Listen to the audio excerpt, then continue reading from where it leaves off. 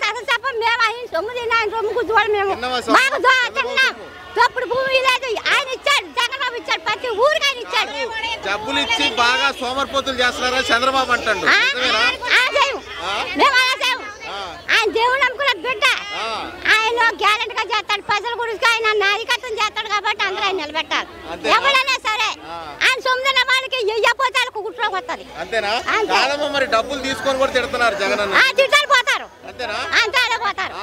నువ్వు నీ ఓటు ఎవరికి ఎత్తావు ఆ, నా జగన్కి. మరి పవన్ కళ్యాణ్ వీళ్ళందరూ జగన్? జగన్ జగన్. గెలిపిస్తారా మీరు మీరు? గెలిపియాలి మీరు కాదు. ఆ, మరి మీరు ఓటేసేది మీరేగా మీరు కూడా ఉంటారు సపోర్ట్. కాదు ఫిక్స్ అవుతుందా. మంచిగుందా?